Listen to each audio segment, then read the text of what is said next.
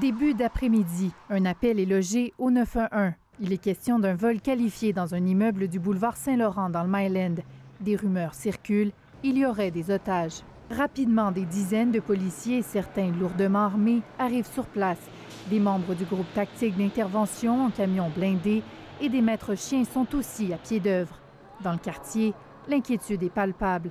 Le géant français Ubisoft serait visé, des centaines d'employés y sont barricadés.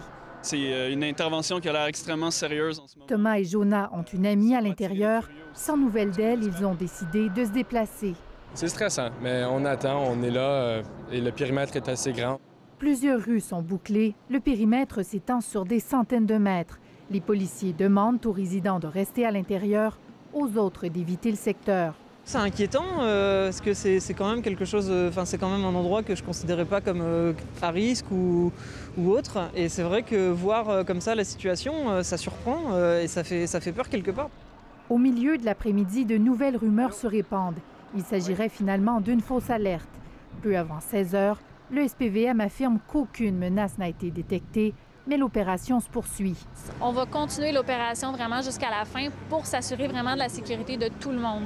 Donc, toutes les informations qui entrent sont vérifiées, sont validées. Pendant ce temps, les employés confinés à l'intérieur d'Ubisoft sont évacués par petits groupes. Ils sont plus de 200 au total et vont rencontrer les enquêteurs. Peu importe la nature finalement de, de l'événement, c'est une opération qui peut quand même avoir eu un impact chez certaines personnes. Donc, on va s'assurer qu'ils aient le support requis. Ubisoft offrira aussi un soutien à ses employés. L'entreprise s'est dite bouleversée par les événements, mais soulagée de son dénouement. Ici Kim Vermette, Radio-Canada, Montréal.